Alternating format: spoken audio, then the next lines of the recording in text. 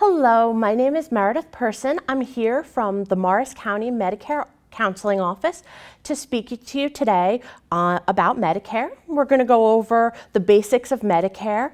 Um, currently, we're in the beginning of September 2020. We don't have a lot of information of what's coming up in the open enrollment period, um, and I will talk a little bit about that as we move along. But let's get started talking about Medicare. The first thing I want to explain to you is what SHIP is. Um, SHIP is the State Health Insurance Assistance Program. We are in every state, in every county across the country. Some have different acronyms that they use for them, but we're all the same. We're all, we are trained and certified by Medicare. Some counselors are volunteers, some counselors are paid. In Morris County, we have 30 volunteer counselors. Um, I'm the only paid staff in the county, and we don't work for any insurance company. We can assist you with any Medicare problem, whether it be that you're new to Medicare and are completely confused. Um, we say all the time if I had a nickel for everybody who said, I'm smart, but I don't understand Medicare, we'd have taken more than one Caribbean cruise by now. So we're here to help you with that, with open enrollment, with bills, with any questions you may have related to Medicare. Um, and as we go on in the presentation, I'll give you my contact information so that you can reach out to the office if you're having problems with Medicare and want to connect with one of our counselors. So, general Medicare overview. Medicare is a government-sponsored health insurance program primarily for people ages 65 and over. There are some people under 65 who receive Medicare, but primarily everyone, when they turn 65, becomes eligible for Medicare. People who are under 65 and on Medicare have one of two things. They're either on disability, and after 24 months of receiving Social Security disability, you qualify for Medicare, or they have end stage renal disease or are diagnosed with ALS or Lou Gehrig's disease.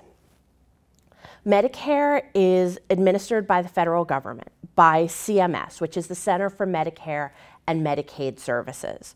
Um, people a lot of times get confused about Medicare and Medicaid. Medicare is for primarily the elderly. Medicaid is primarily for low-income individuals and family. Um, you can enroll in Medicare either through Social Security or for people who worked for the railroad, whether it be New Jersey Transit um, or one of the other major railroad companies, they use what's called the Railroad Retirement Board. It's the same exact benefits, just administered through the Railroad Retirement Board instead of Social Security. Currently, there are approximately 61 million people who, in this country who are enrolled on Medicare. So, what is Medicare?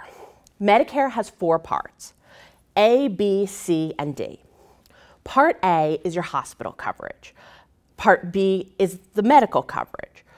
Those together are known as original Medicare. So, Part A, what is it? It covers when you go to the hospital, basically your room and board in the hospital. Part B is your doctors and even when you're in the hospital, the doctors that come and see you, but it covers your doctors and your durable medical equipment. I'll talk more about those. Um, so each of those parts of Medicare has different rules for enrollment, different monthly premiums, deductibles, and coinsurance or copays. This is why Medicare gets so confusing. So to enroll in Medicare, there are a couple of different options. There's the automatic enrollment. You're turning 65, you already get Social Security, and or you're on disability, hit your 25th month. Great, you are automatically enrolled in Part A and Part B. But if you're still working, you can opt out of Part A and Part B. You can, when you are turning 65, you have what's called your initial enrollment period. It's three, excuse me, three months before you turn 65, the month you turn 65, and three months after. That's the period of time you have to enroll in Medicare initially, as well as the additional parts of Medicare. So every if you don't enroll during that seven month period because you're still working or you have other coverage, you may later have a special enrollment period, which is the three months after you stop working and now you need coverage. If you don't enroll during your initial enrollment period and you don't have a special enrollment period, you have to enroll during what's called the general enrollment period, which is from January to March 30, January 1 to March 31st every year, and your coverage doesn't become effective until July 1 of that year. So the goal is to avoid having to fall into that general enrollment period because parts of Medicare also have penalties if you don't enroll when you're first eligible. If, you, if you're still working, you don't need to take Part A and Part B. Most people do choose to take Part A because there's no charge, there's no premium for it. So you're really getting something for nothing. But if you're still working, you can delay your enrollment in Part B. You must be working for a large employer and have health benefits from them. Or if your spouse is retired, or still working and you get coverage from them. Also, if you have retiree coverage of your own, that can take the place of Part B. So if you turn 65, you can elect to just take that Part A.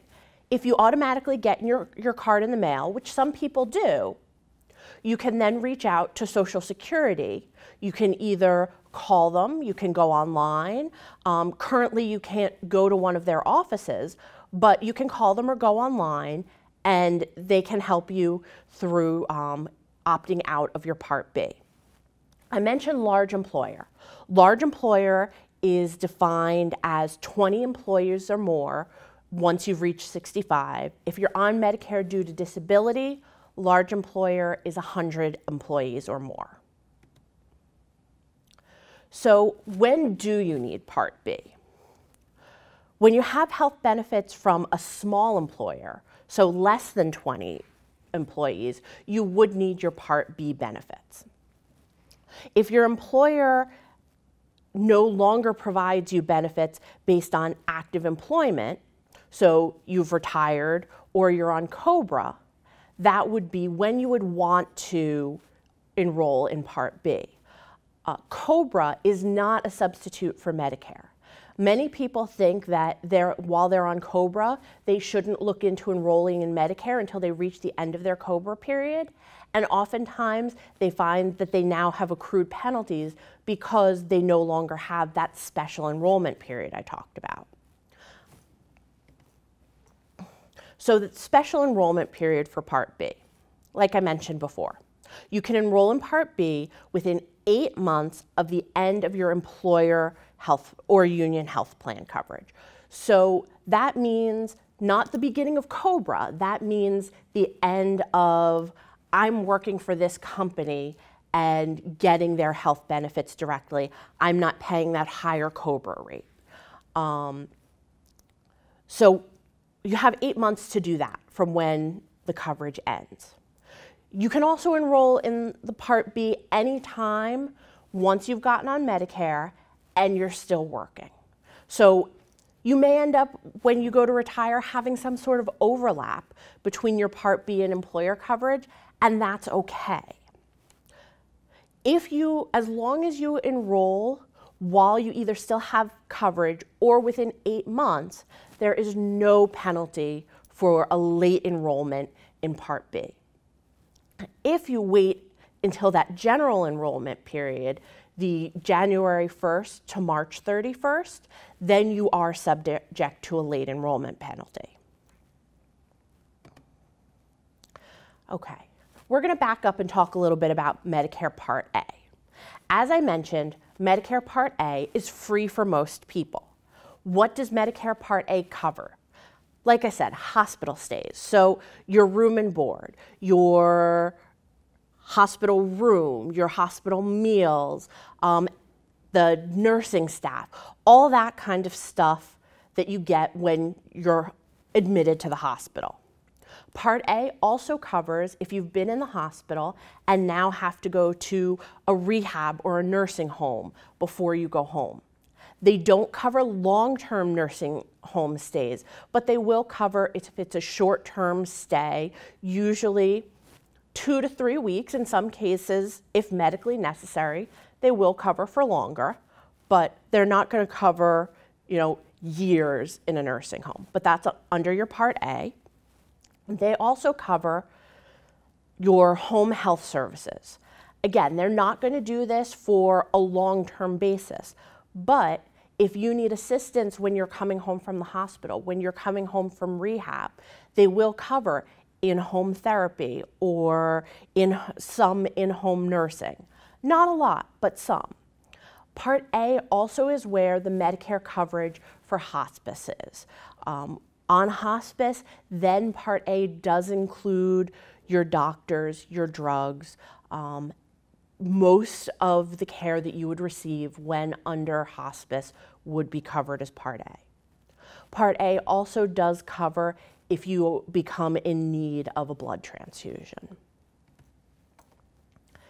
So how do you pay for it and how do you know if you have to pay for it or not? So most people receive Part A for free, but it's based on your work history. You need to have worked 40 quarters or 10 years to receive Part A for free.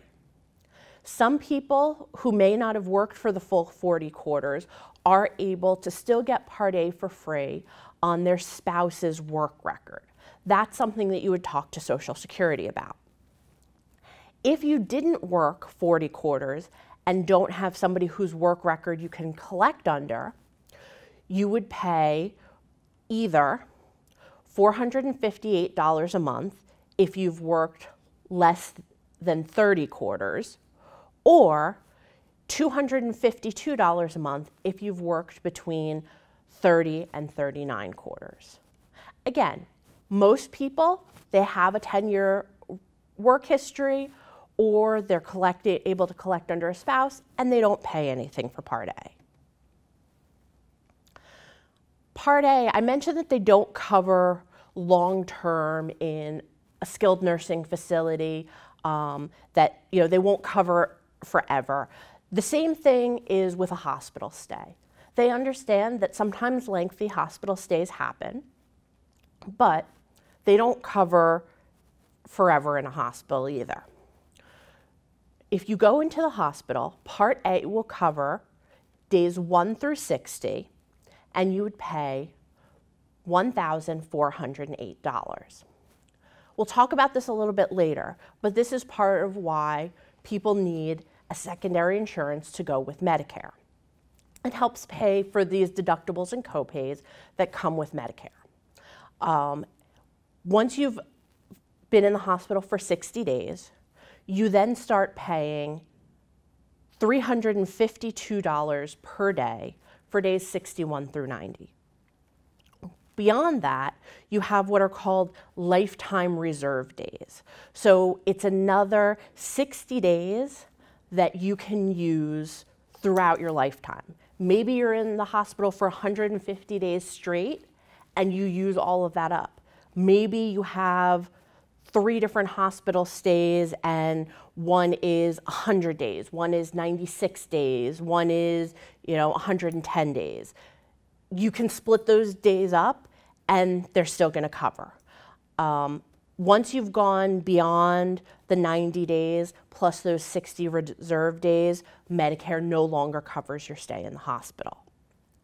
Um, the 60 days, the first 60 days or the benefit period begins each time you're home from the hospital or home from the nurse from a skilled nursing facility for 60 consecutive days. So you would need to be home for two months between hospital stays to start with day one again. If you go home for a couple weeks and then go back, you're still counting off of how many days you were already in. I know this gets very confusing, um, and this is one of those things, if you ever have questions, give us a call and we can help explain this. Um, skilled nursing facilities. So you've been in the hospital for at least three days. They now say, you really need to go to a skilled nursing facility or a rehab, build up your strength, get occupational therapy, physical therapy before you go home. So Medicare also pays for this. Again, they will pay for some of it, but not all of it. So your first three days, excuse me, your first 20 days at a skilled nursing facility, you pay nothing as long as you've had that three day hospital stay. Medicare has something that's called a three midnight rule. You must be admitted to the hospital through three midnights in order to qualify for a stay in a skilled nursing facility. Something to be aware of and be careful of. We've been seeing a lot of the am I admitted or am I on observation status. Observation status does not count towards the three midnight rule. So if you're in the hospital, you know, make sure that you have somebody who can advocate for you to make sure if you think you're going to need that follow-up care that you are truly admitted and not just on observation status. Um, something that I'm always a huge advocate of is making sure you have an advocate, making sure you have somebody who can be eyes and ears for you because you're focused on getting better. You're not thinking about what's my insurance going to cover, what is, you know, am I admitted, am I on observation? You want to have somebody who's going to do that for you, whether it be a spouse, a child, a grandchild, a friend, it's always so important to have that second person there um, to be able to support you. So you've been in the hospital for three days, you go to a rehab for up to 20 days with nothing out of pocket. If you need to stay in the facility longer, you can stay up to 100 days and Medicare will pay everything from day 21 through 100. You will have a $176 per day copay. Beyond 100 days at a skilled nursing facility, you're now responsible for all costs. Medicare Part A also pays for home health care not full home health care, aid round the clock, but the same thing as they'll pay for you to go for physical therapy or occupational therapy to a skilled nursing facility so you can recover. Same thing with home health care. They don't pay for any kind of long term in home care. They will pay for any durable medical equipment you need for in-home care. So that would be a walker, wheelchair, um, if you need incontinence supplies, wound supplies, any of those things. That's all covered under your Part B. But for in-home care, they cover no more than eight hours a day and no more than 28 hours a week of in-home care. It must be medically necessary, so you have to have a doctor putting it as part of your care plan. You must be unable to leave the house to get these services elsewhere, and it must be with a Medicare approved home health agency. These are all things that if you're in the hospital, a hospital social worker will be able to assist you in making sure that you're connected with a Medicare approved home health agency. So I mentioned that Part B pays for your durable medical equipment and your doctors. Let's talk a little bit more about what else Part B covers. So Part B covers your doctor services. So when you go to the doctor, they cover 80%. You hear a lot about Medicare covers 80% of, of this and that and the other thing. That's correct. Medicare in most cases only covers 80%. So when you go to the doctor, if you don't have a supplement, you're going to pay a copay. Same as when you're in the hospital. Medicare pays roughly 80%, but you still have a deductible. Part B also pays for any supply, any outpatient um, medical that you need. So if you need lab tests, if you need um, x-rays, MRIs, any of that stuff all falls under Part B. Also, once you've done your inpatient physical therapy or occupational therapy. So that would be at the hospital, your home health aide, or at a rehab facility. When any of that stops and you're now going to a specific location, you know, a physical therapy office, that's now covered under your Part B. Part B also covers mental health services. Um, and as I mentioned, durable medical equipment or DME, and outpatient hospital services. Ambulance services. Most ambulance services are not covered under Medicare. The ones that are are covered under your Part B. Ambulance services are only covered in case of emergency. Transportation ambulance services between two facilities or to go to the doctor, anything like that, are not covered by Medicare. Medicare Part B also covers a number of preventative services.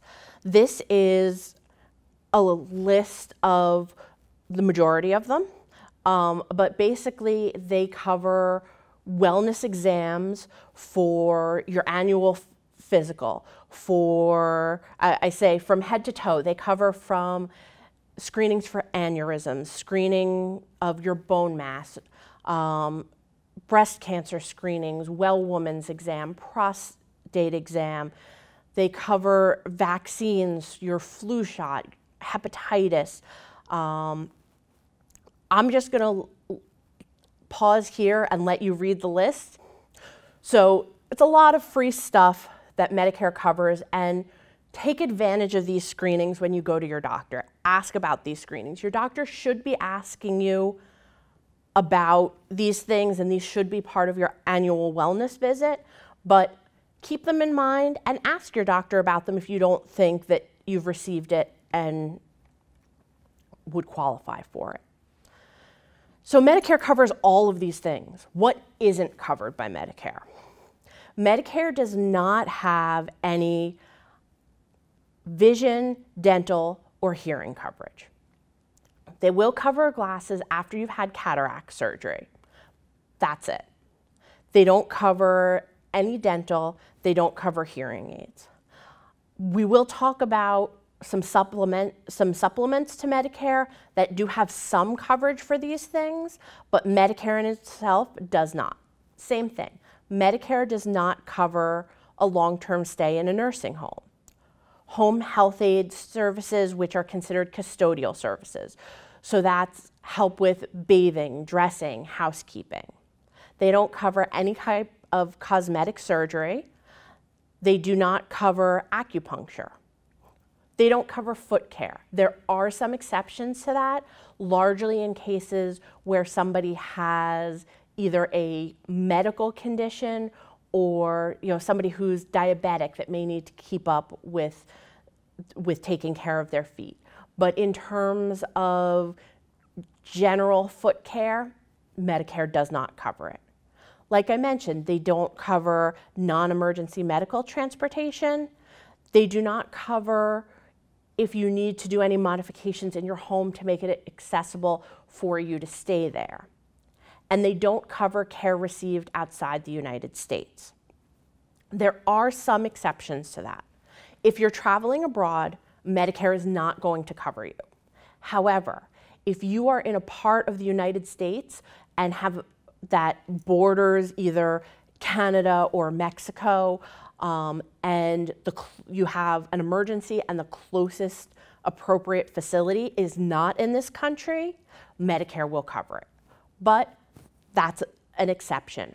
Other than that, Medicare does not cover any medical care outside of the United States. So we talked about what Part B covers. what does Part B cost? So every year, the premium for Part B goes up. These are the costs that are currently being paid in 2020. We don't know yet what it's going to look like in 2021. Part B premiums are partially based on what your income is. So any in, in 2020, any individual making $87,000 or less, or any couple making $174,000 or less, will pay $144.60 per month for Medicare Part B. If you make more than that amount, you would pay more for your Medicare. Something people run into regularly when they're retiring is their working income, especially for a couple, may have been above the, that amount and they're being charged a higher amount, but now they've retired and their income has gone down significantly. You can go to Social Security. Um, again, you can go online or you can call them and they will review your income.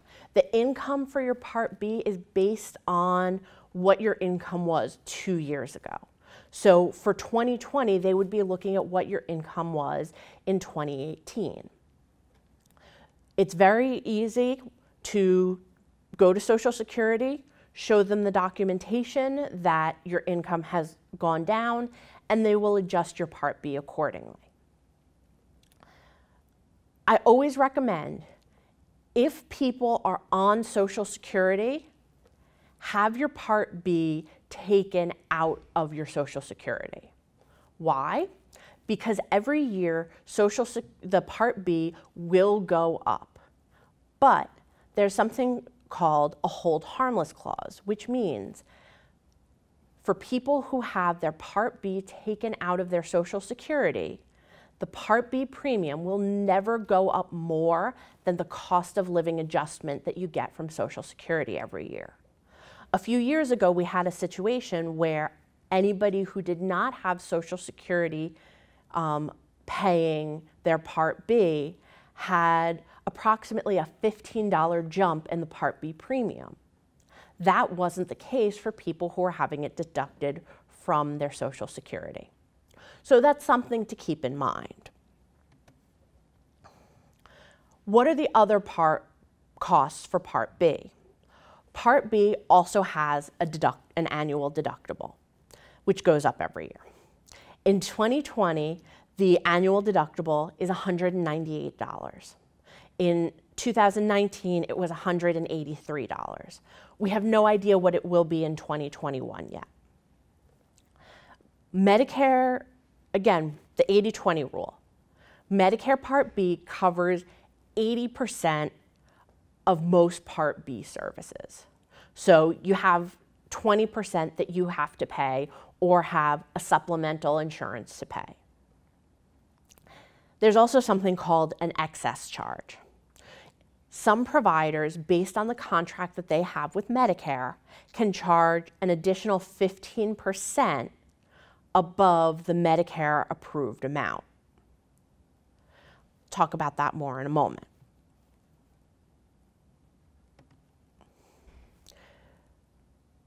Med so the Medicare approved amount, what does that mean? Medicare, like any other insurance, pays claims based on a fee schedule that Medicare has set up. So any doctor um, or facility that is signing a contract with Medicare knows exactly what they're going to get paid for every service.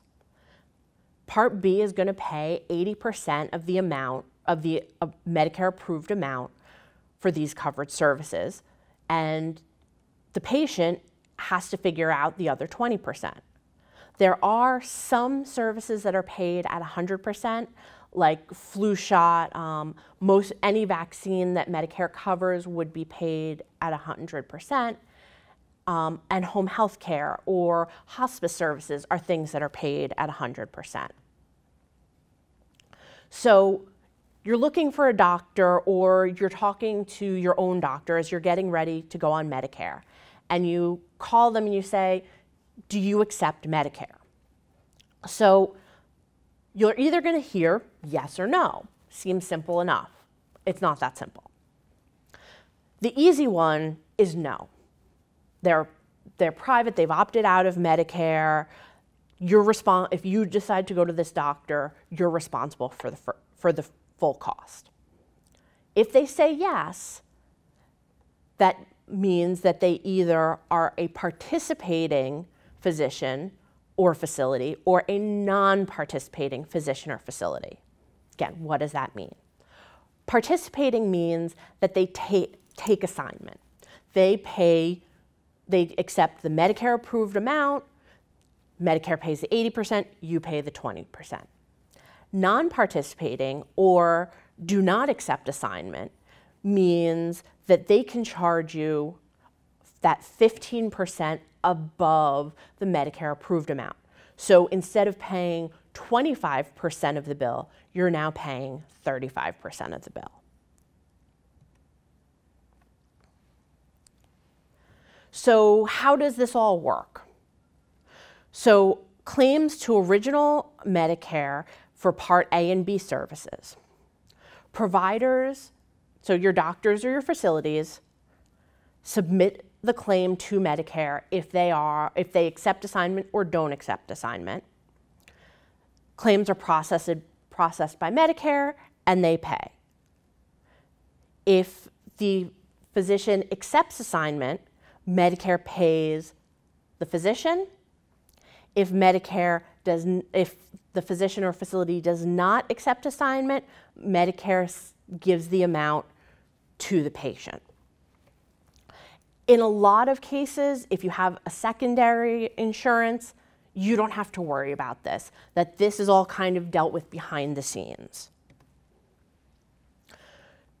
So, how do I figure out what I'm responsible for, what my physician charges, any of all of this? If you're on commercial insurance, you get an explanation of benefits. Medicare has something similar. It's called a Medicare summary notice. So you'll see on this slide, this is from a doctor who, an eye doctor, um, for eye and medical examination for diagnosis and treatment, established patient one or more visit. Is the service approved by Medicare? Yes. Now, you see here, the amount the provider charged was $143. The Medicare approved amount is $107.97. Medicare paid $86.38. And it says the maximum you may be billed is $21.59. So that's that 20% that you would be responsible for.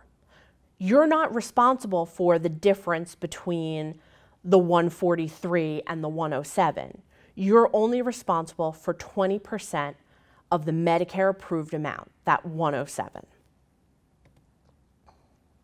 You can also, so these Medicare summary notices get mailed to you. You can also go online to medicare.gov and you can create a login where you can see all of these online. Um, it's a wonderful site. I strongly recommend it. Um, I you know, I have my day job and then my non day job is as a caregiver for my father. I love using the My Medicare site to be able to keep an eye on his claims, um, to be able to see what medications he's taking, all of these things. Um, he does not live with me, so with doing this from a little bit of a distance, it makes my life easier. Um, and for somebody who is technology savvy, this is a great way to be able to see your claims much faster than waiting for Medicare summary notice, which is normally only mailed quarterly. Um, this slide explains a little bit about it. You can go to mymedicare.gov. That's where you would set up the login. Um, if you go to medicare.gov, you'll see a link to create the My Medicare login. So it is part of the federal Medicare website, and it is um, as it is designed to be secure and allows you to see your claim statuses um, and look up providers and services in real time. For somebody who may already be on Medicare, you should have received a new Medicare card. Medicare cards used to have your social security number on it or the social security number of the person whose work record you were using for, social, for Medicare. If you still have a card with your social security number on it, you should have received a new card. If you didn't, please call 1 800 Medicare so they can make sure that you get your new card. Um, a card with your social security number on it will no longer be able to be used for uh, claims and benefits that providers and facilities are filing on your behalf. Okay, we talked about Medicare Part A and B, or original Medicare. And I kept talking about that supplemental, something to cover that 20%. There are two different types of it. Oops. There is Medicare Supplement or Medigap and Medicare Advantage. We're going to talk first about Medicare Supplement insurance or Medigap. So you're going to see, if you haven't already, all sorts of advertising about insurance companies and about insurances that work with Medicare. If you hear the ad, go to any doctor or hospital that accepts Medicare, that is a Medigap plan. That is a surefire way to know that you're talking about a Medigap plan. Medigap plans or Medicare supplement follow the same network as original Medicare. So you're not going to be able to go to a doctor who says, no, I don't take Medicare and use your Medicare supplement plan. Won't work that way. If they take Medicare, they take the Medicare supplement. Um, Medicare supplements are provided by private insurance companies. You can get Medigap plans from Aetna, Horizon, Blue Cross, AmeriHealth. Um, there are a number of different companies. Doesn't matter what that company's physician or facility network is, it's all about the Medicare network. So, like I said, ways to support, to supplement original Medicare. The first one is some people have a retiree plan um, from their employer or union and they use that as a supplement. Medigap policies that I just talked about. You can pay everything out of pocket and not have a supplement. Or there are programs to help pay for your Medicare, including the Medicaid program. Um, though to qualify to have Medicaid with Medicare, you need to have a very low income. So retiree health coverage. So you find, or, or if you're still working, you want to talk to your employer or your union um, to find out how they can work with Medicare. How do they go to the doctor and Medicare pays and then you have to submit the bill? Second, ask those questions. Um, does your employee, employer or retiree coverage have monthly premiums, deductibles, what's their drug coverage look like? These are all questions you want to ask if you want to stick with an employer or retiree coverage. Um, almost all of these plans will require you to have Part A and Part B once you retire. Medigap or Medicare supplement. So, like I said, these are sold by private insurance companies. They cover that 20% of Part A and B, also called Medicare supplement insurance. They have standardized policies. They're letters A through N because let's make things more confusing with the Medicare parts A through D. Um, so every plan lettered A. Doesn't matter which company I buy it from, the coverage is going to be exactly the same. Any company I buy a plan D from, coverage is going to be exactly the same, and so on and so forth. again, it follows the Medicare network. So how does a Medigap work? You have these standard benefits, and I'll show you a chart with that in a minute. You pay your premium based on company and based on age. So while the coverage is the same from company to company, the costs may not be. And different letter plans are going to have different costs. Um, ones that have more coverage are going to have a higher premium. Ones with less coverage are going to have a lower premium. Medigap pays after Medicare pays. So again, if Medicare pays for it, if Medicare covers it, Medigap will pay. If Medicare does not cover it, Medigap is not going to cover it.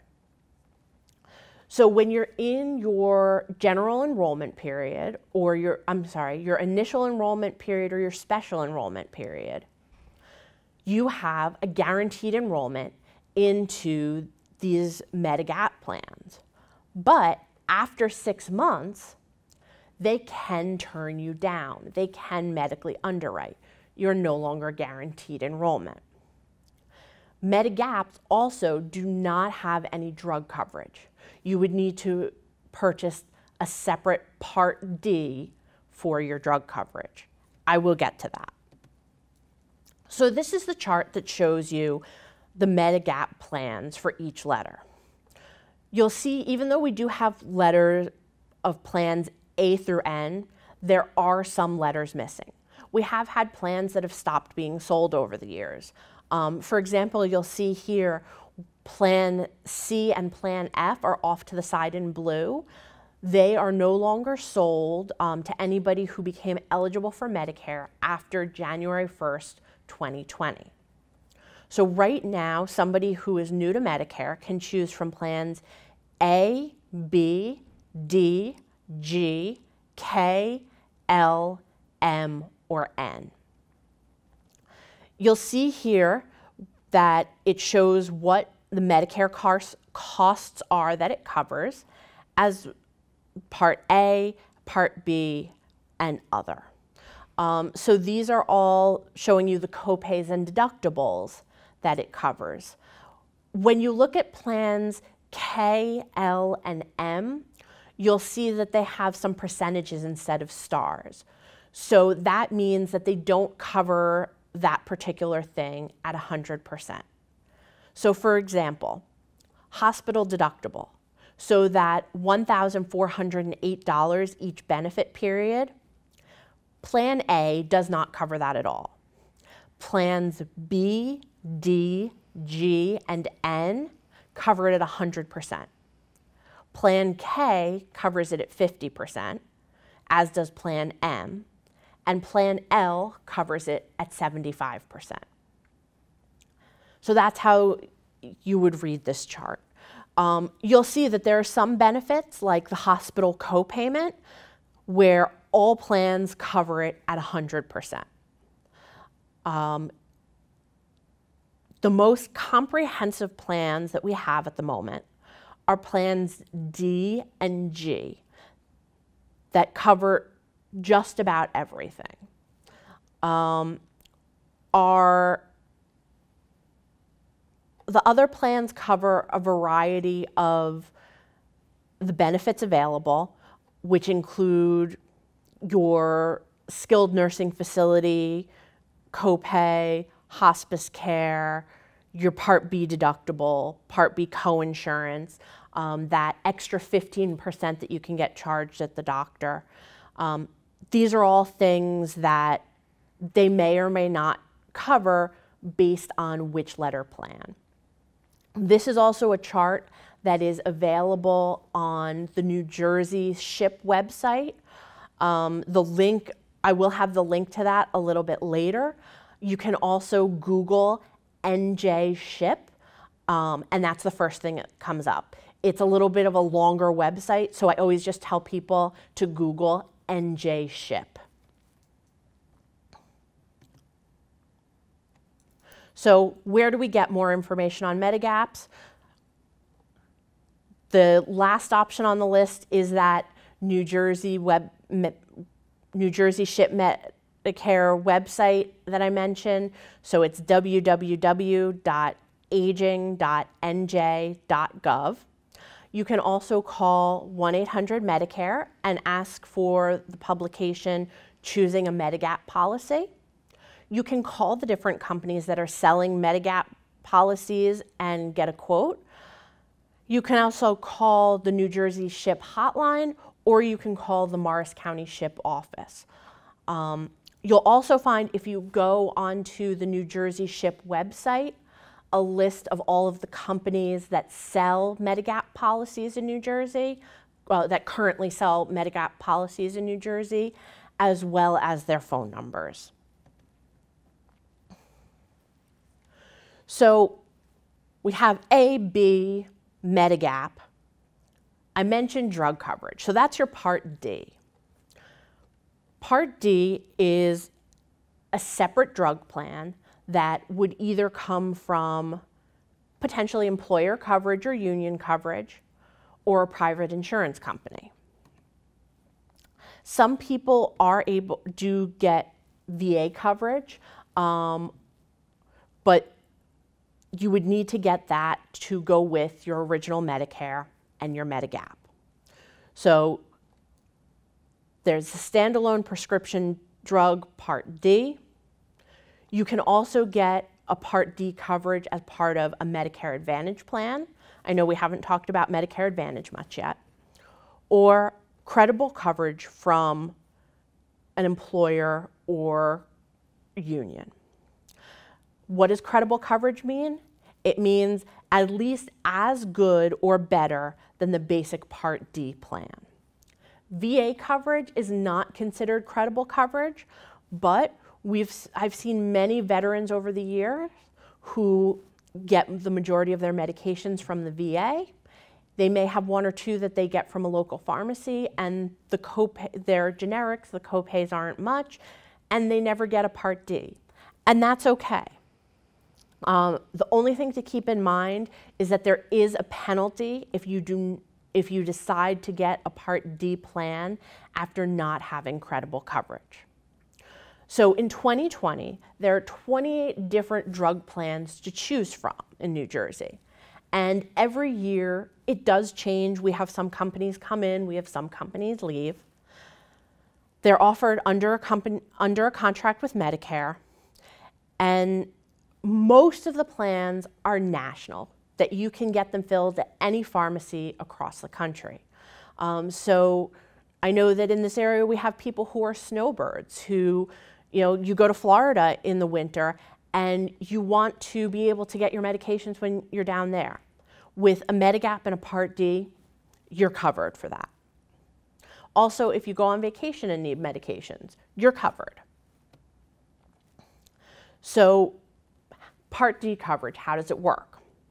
So, it's for prescription drugs only. It does not cover over the counter medications, covers brand name and generic drugs, must cover at least two drugs in each treatment class, so that would be the formulary. It covers insulin and supplies for injecting insulin. If you're a diabetic, some of your care is covered under Part D, and some of it is covered under your Part B. Um, same thing with vaccines. The medication that is used in the vaccine is covered under your Part B, um, as is the syringe and the needles and all of that. Um, some of the medications used in vaccine are covered or used in in injections are covered under your Part D. I know it gets a bit confusing. So, drug formularies, what is it? It's a list of drugs that the plan will cover. It might not include the specific medication that you are on, but there would be something similar on the formulary that would treat whatever condition it's being used for. Just like commercial insurance, they have most plans have different tiers of drugs, which your copays vary based on which tier it is. Um, there are some types of drugs that are not covered. So, for example, over the counter drugs, um, cosmetic drugs, or what they refer to as lifestyle drugs. Um, any medications that would treat something like ED, um, or some if you wanted Botox injections, these kinds of things would not be covered.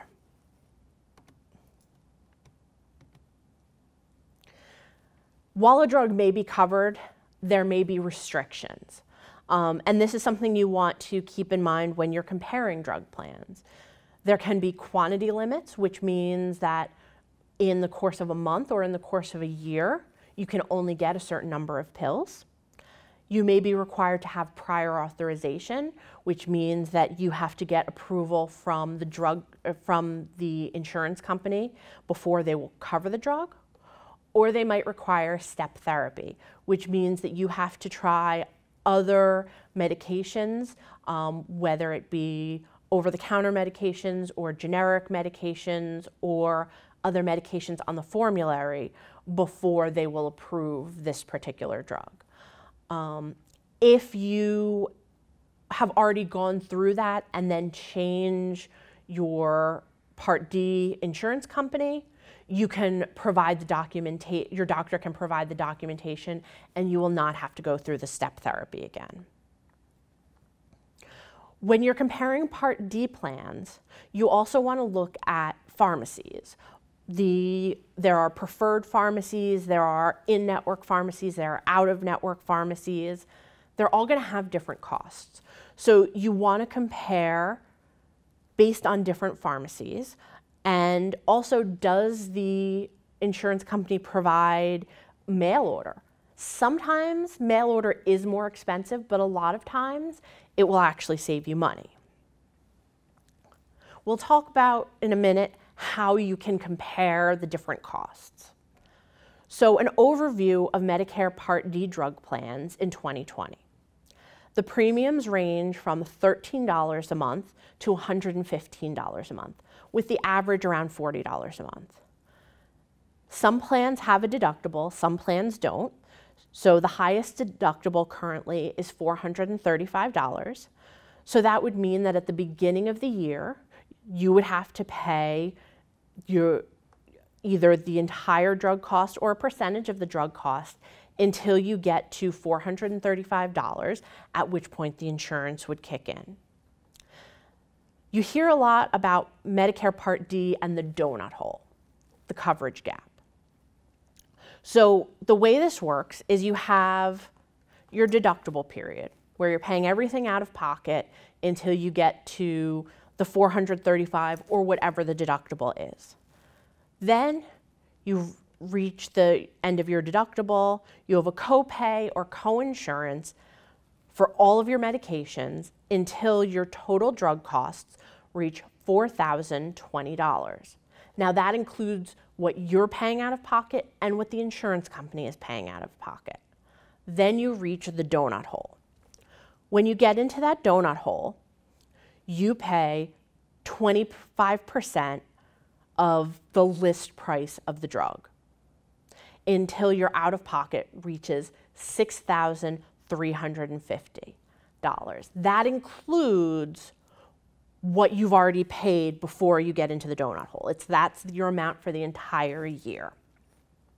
Most people who most people don't ever get out of that donut hole. That they reach the donut hole sometimes in the fall, um, if they're on a lot of generic medication or a few generic medications, they may not reach it at all for the year. Um, once you reach that $6,350 out of pocket, you go into what's called catastrophic coverage.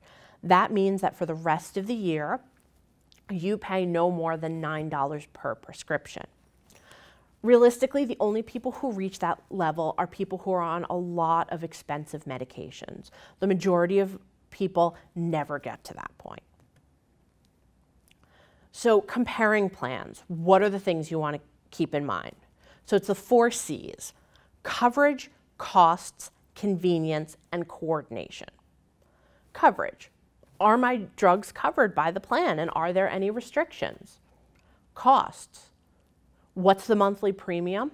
What are my copays? How much am I going to pay for the entire year when I consider my copays and my premium? Convenience. Does my pharmacy work with this plan? Is it a preferred pharmacy? Is there a local pharmacy that works better with the plan? Coordination. Will it work with my other health or drug benefits?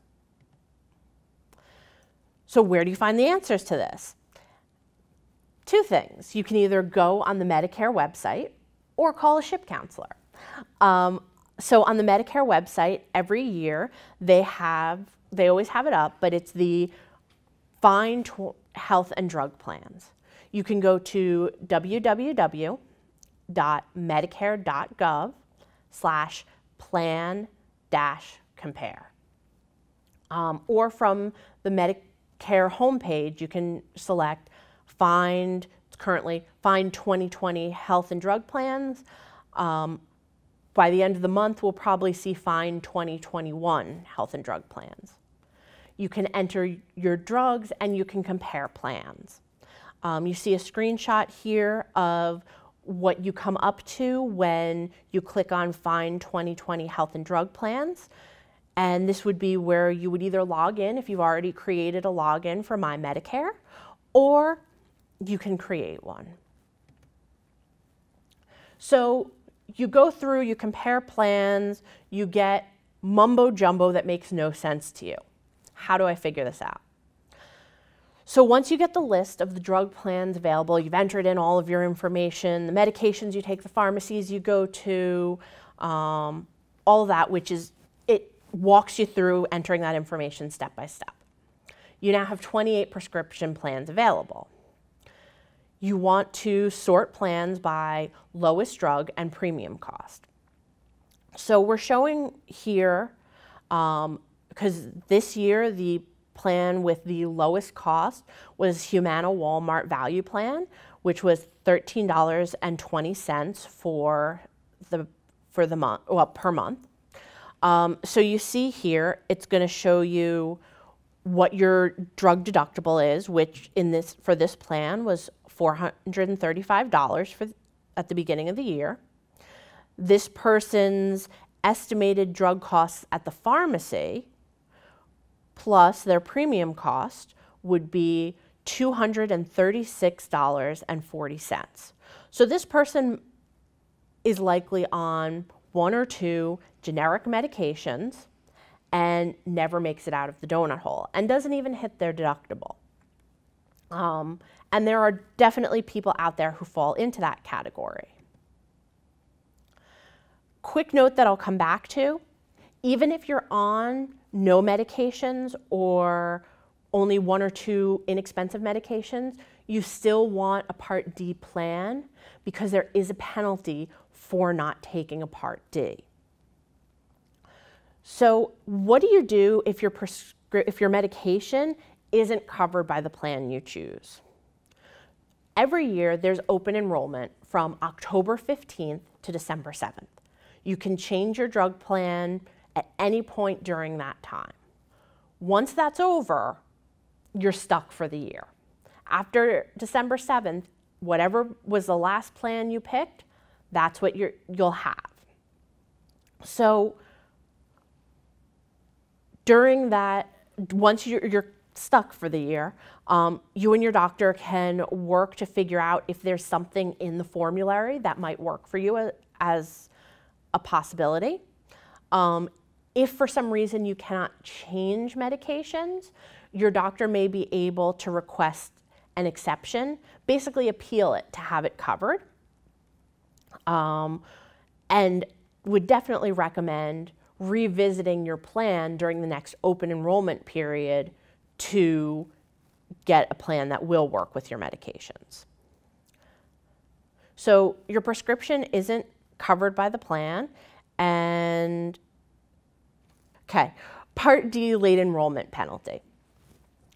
So I mentioned that if you don't get your Part D when you are eligible for it, there is a penalty if you don't have credible coverage. So it's added to the monthly premium for your Part D for the rest of your life. Um, it is calculated with any plan that you may take, and it changes annually.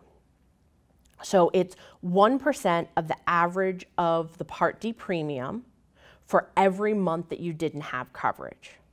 So, for example, if you delayed enrollment for three years in a Part D, that would give you a 36% penalty or $11.70 per month.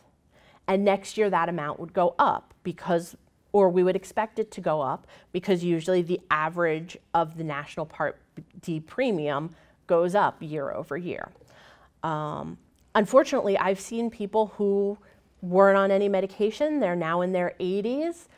They need an expensive medication, and their, pre- their penalty is twice what their premium would be. Um, so it's really important to make sure you take that Part D. If you do qualify for some of the programs for people with low income that will pay the premium, will pay that penalty, but not everybody qualifies for that. All right, so we talked about original Medicare, Part A and B, Medicare Supplement or Medigap, and Part D prescription coverage. I alluded to this Medicare Advantage plan, which is also called Part C. So, what is it? A Medicare Advantage plan is either an HMO or a PPO and can also be called a Medicare health plan. They're very similar to commercial insurance that we see from employers, HMOs, PPOs, which most people are very used to.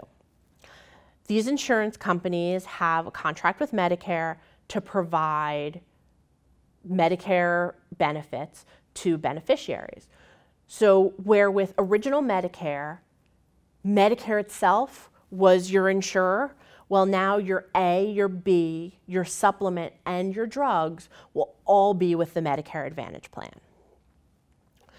So all of your services now would come through your Medicare Advantage plan, including your medications.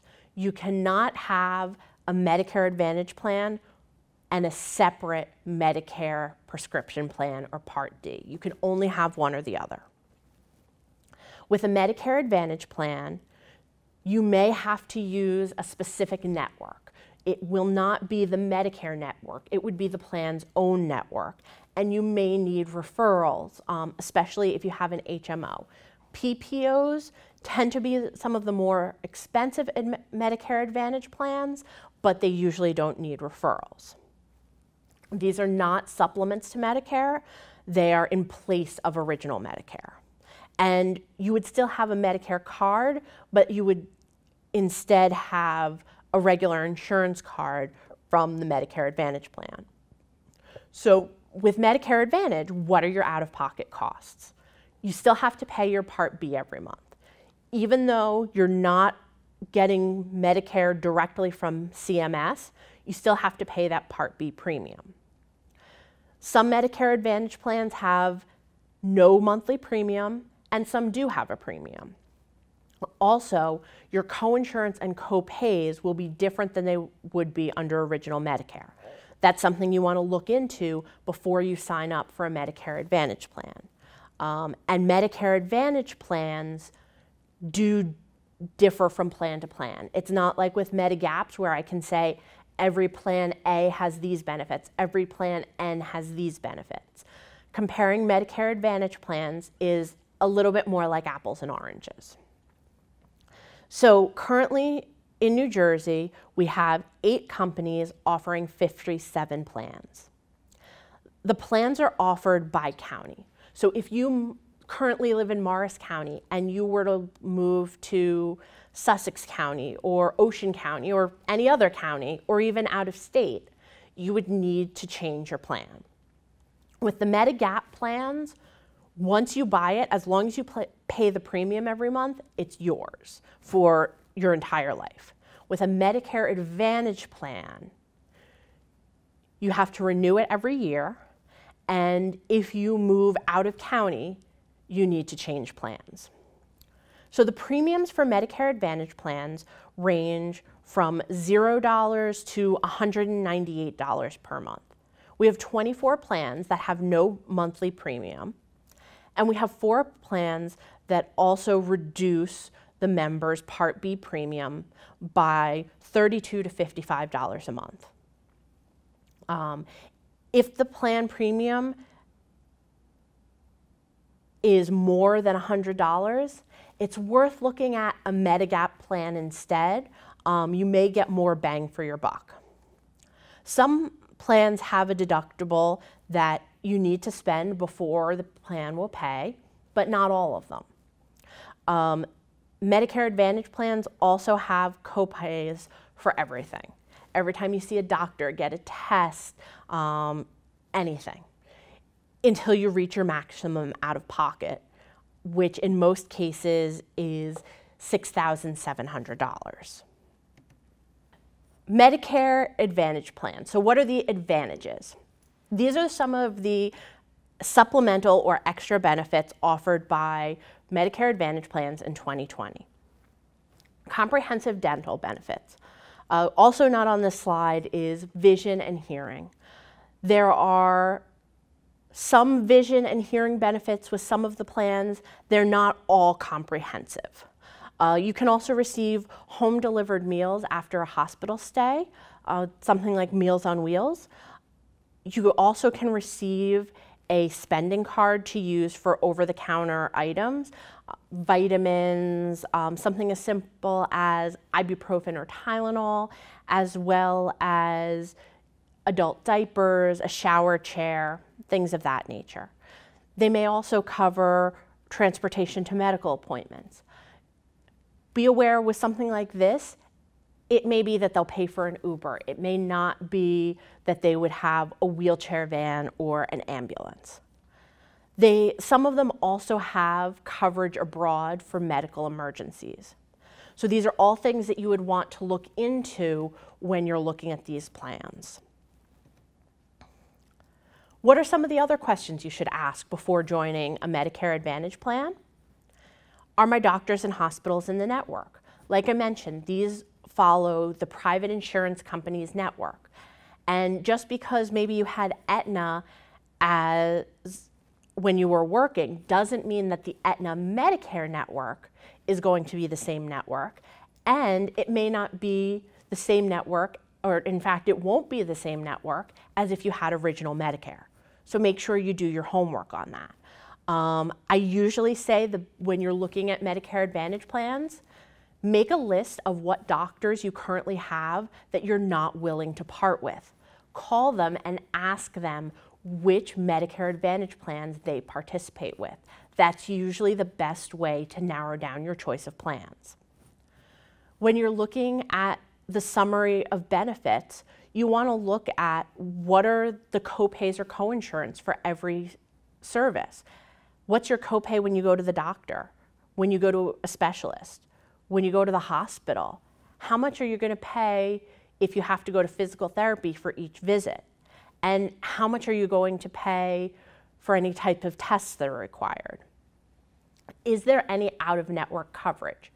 Some of these plans have no out of network coverage. Um, some of these plans will not cover you if you travel out of state.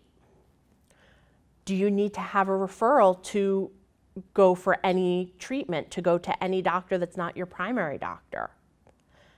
Make sure that it covers medications and covers your medications. How does it work and combined with any other coverage you might have, whether it be employer or retiree?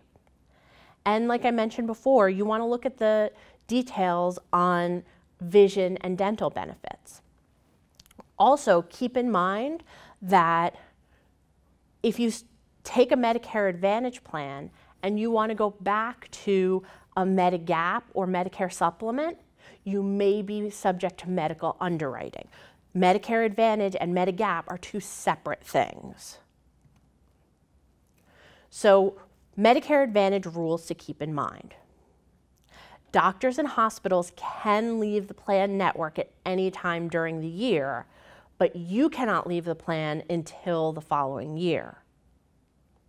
Medicare will not pay for any services that are not covered by Medicare Advantage plan.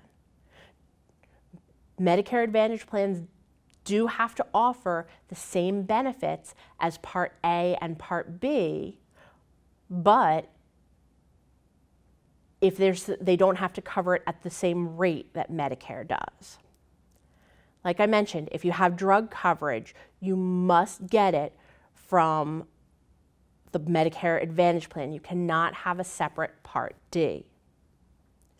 If the plan denies you a service, you do have the right to appeal it, and copays for services cannot be increased during the year. As I mentioned before, if you move out of a county, you will have to change plans.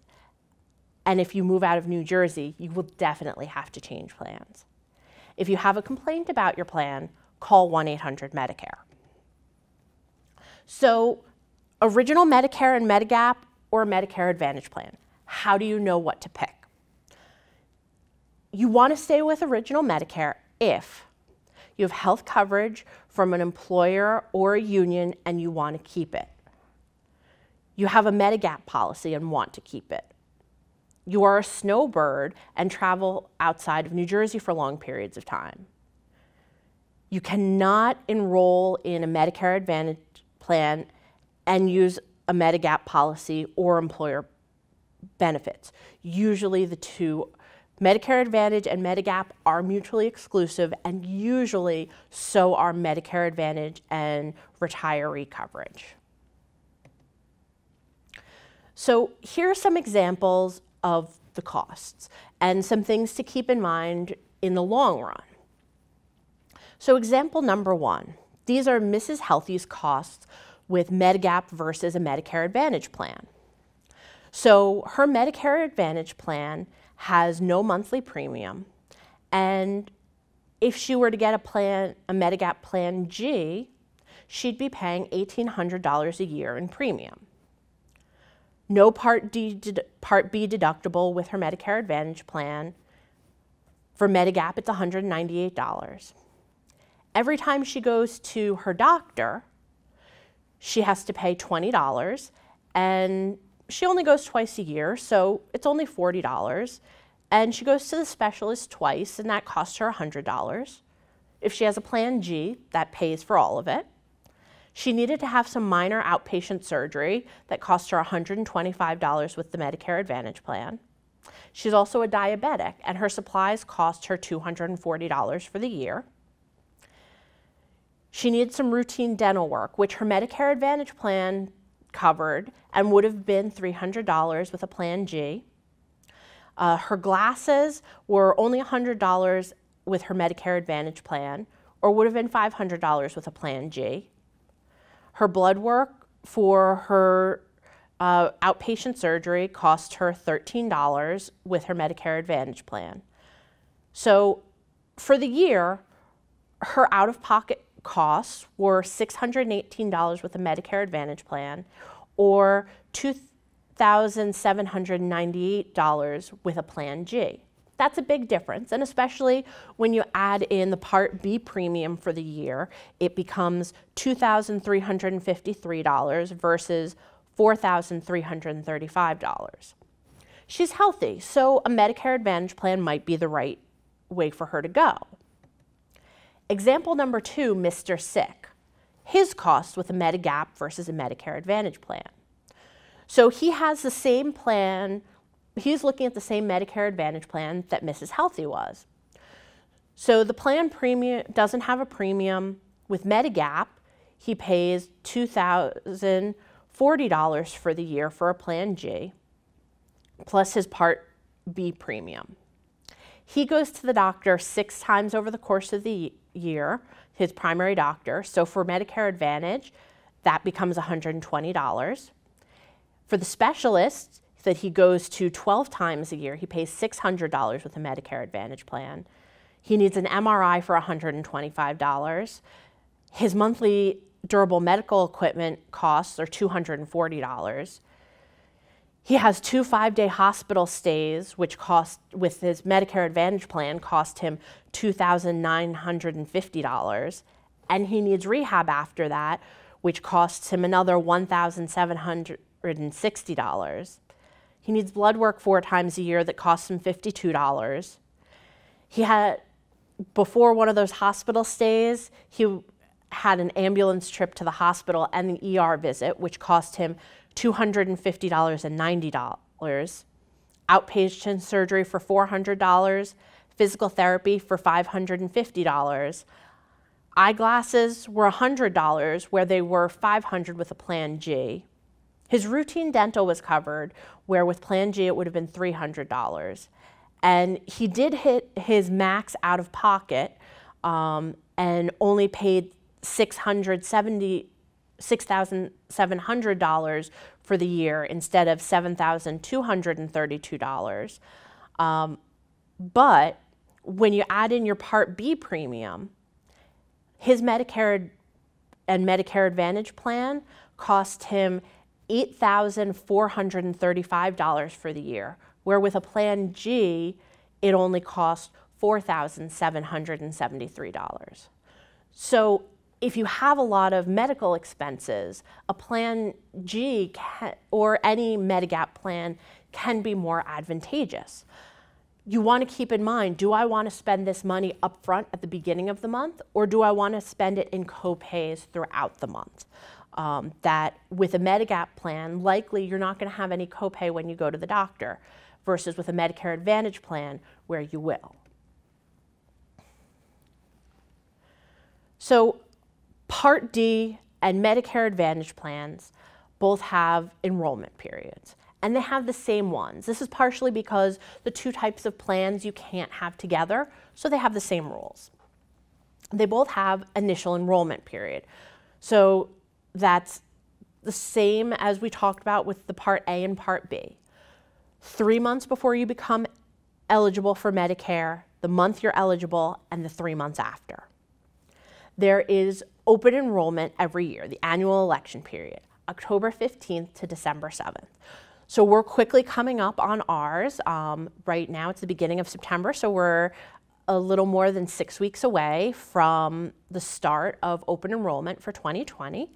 And this is a good chance for you to review your coverage. For Medicare Advantage plans, you can have an additional enrollment period that you can switch between January 1 and March 31st every year. You can leave a Medicare Advantage plan and return to original Medicare with a Part D. There are also special enrollment periods, just like with Medicare Part A and B. If you moved out of, if you had a Medicare Advantage plan and move out of the service area of your plan, if you lose your credible coverage or if you move into or leave a nursing home. These all give you the ability to change your plan even if it's in the middle of the year. Medicare Advantage also has a no risk trial situation. You can drop a Medicare supplement policy and enroll into a Medicare Advantage plan for the first time, or when you are new to Medicare at age 65, you can enroll in a Medicare Advantage plan and you can still return to original Medicare without any penalty and still get a guaranteed issue situation if you do it within the first 12 months. So if you start off on Medicare with a Medicare Advantage plan and three years down the road, you want to switch to original Medicare, you're outside of that trial right situation. Um, if you do it within your first 12 months on Medicare, you do have a guaranteed issue period to go back to original Medicare. Annual enrollment. Like I just mentioned, October 15th to December 7th. You can join or switch a Medicare Advantage plan or a Part D. You want to compare your plans right uh, during this time. Whether it be going online and comparing them, making an appointment with a SHIP counselor, um, see what best fits your needs. And you can do this every year. And I recommend doing it every year. I have seen people who have saved thousands of dollars just by switching. Um, your coverage will begin January 1st, and It does not have anything to do with a Medigap or Medicare supplement. This October 15th to December 7th is only Medicare Advantage plans and Part D. Medicare supplement or Medigap, you can apply for it anytime during the year.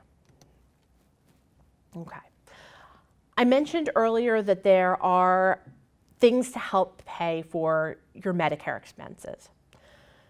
So the first one is for the lowest income, which is Medicaid. So if you are on Medicare and your income is less than $1,064 for a single or $1,437 for a couple, and you have assets of less than $6,000, which does not include your car or your house, you're eligible for Medicaid. Medicaid then acts, once you apply and get on Medicaid, will act as a supplement to Medicare. Um, it will pay your premiums, your deductibles, your co-insurance, it, it, pays everything. Um, the only cost that you would then have would be for your prescriptions, which would be $1.30 for generic or $3.90 per brand for a brand unless your copay with your Part D was already lower than that. Medicare pays first, Medicaid pays second. You can apply for this at the County Board of Social Services. So you would either go up to the Office of Social Services on East Hanover Avenue, or you could apply through Zufall Health. If you make a little more money than that, you may qualify for SLIMB, which is Specified Low Income Medicare Beneficiary. If your income is $1,436 for a single or $1,940 married, uh, you may qualify for SLIMB. That pays your Part B premium, and that would mean that you would get that back in your Social Security check. Um, that's something that you would need to contact the state for. You can get more information either by calling 800 792 9745 or going online to aging.nj.gov. The next level above that is for people who have a yearly income of no more than $28,399 or a couple with an income below $34,817. It's called PAD or PAAD. It's New Jersey's Pharmaceutical Assistance to the Aged and Disabled. If you qualify for this, um, and there's no asset limit on this, your generic drugs would be no more than $5 and your brand name drugs would be no more than $7. It would all, this also pays any Part D penalty that you may have. Um, the SLIMB that, that pays your Part B also would cover any Part B penalty you might have. Uh, this is something you can apply for either through the state or we have applications in our county SHIP office and we can assist you with those. Slightly higher is the Senior Gold discount program, um, which has also helps you at the pharmacy. It does not pay your Part D premium, uh, but it does pay $15 plus 50% of the remaining cost of each drug. So like I mentioned, you want to every year review your Part D, review if your income has changed, review what you might be eligible for. Um, and things do change every year. If you have a plan that you're not happy with, file a complaint with the plan and with Medicare. Um, we have seen plans that have been told they can't sell their plan anymore because there have been too many complaints. It does happen. Um, Take advantage of Medicare open enrollment to review all of these things. And beware of scams, especially as we head into open enrollment. Medicare will never call you and ask for bank information or social security number. Treat your Medicare number like your credit card. Do not give it out willy nilly. Give it to your doctor. Give it if you're going for medical care. Those are the only places that need it. Do not give it out over the phone. Medicare also will not send representatives to your home. These are insurance agencies trying to sell you health care policies. One note about the health insurance marketplace. Health insurance market, health insurance marketplace does not work with Medicare. Anybody who is eligible for Medicare cannot get a marketplace plan. Like I mentioned at the beginning, SHIP uh, is here to help you with anything for Medicare. We are locally funded. We don't work for any insurance company. Um, and our counselors can assist with simplest things as a Medicare overview and choosing a plan, or more complicated things like bills and appeals. You can reach out to the New Jersey SHIP hotline. You can reach out to the Morris County SHIP office, or you can go on the New Jersey SHIP website to get all of the information that I've covered in this. Um, as you see, it's a bit of a long website. Google NJ SHIP, and it's the first thing that'll come up. Right now, due to the pandemic, we are not doing any in-person appointments. Um, our office is still working largely remotely, so likely if you call the county office, you will be asked to leave a message and someone will get back to you. And even if you call the state, you will likely get their answering service and not a counselor on the line. Um, but we are getting back to people. We are still actively counseling. Um, also, if you call and leave a message with the Morris County office, because we are largely a vol volunteer um, organization, you may receive a return call from a blocked number. The counselor will leave you a a message letting you know when they are going to a day and time when they will be calling back. Um, this is because they're calling from home, and we do encourage them not to give out their personal phone numbers until they've been working with somebody. Um, we do not expect that in-person appointments will be resuming until sometime in 2021. So all of open enrollment will be done remotely. So I will leave you with my contact information um, the phone number for the county SHIP office, as well as my email address. Please feel free to reach out with any questions or concerns you have. And uh, we're going to hope to do an updated video once we have information for this year's open enrollment.